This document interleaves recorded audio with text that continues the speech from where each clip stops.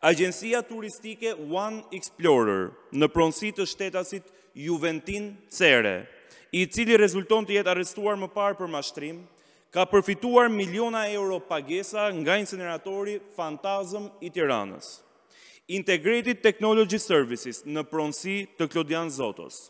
i ka paguar rreth 1 milion euro kësaj agjencie turistike.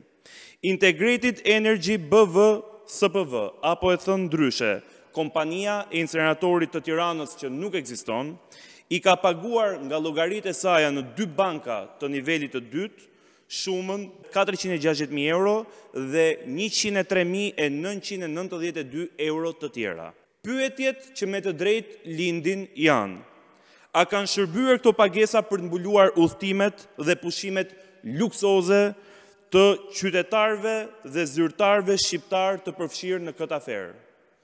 A janë këto pagesa që kanë mbuluar udhëtimet me çartera të drejtorëve të Bashkisë Tiranë?